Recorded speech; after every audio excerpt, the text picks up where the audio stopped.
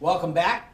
It's time now to see if our burn time data, in fact, does uh, support a correct hypothesis. Let's see what we've got. We're probably all going to be wrong a little, by a little amount, but we're going to have a way to measure how, uh, how good our hypothesis is by using percentage error. So just like before, I've got my area set up and I've got the same candle. I've got the damp paper underneath it to seal it. And just like before, we've got the stopwatch.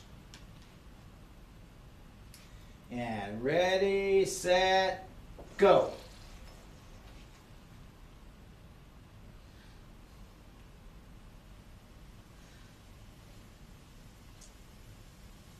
Out.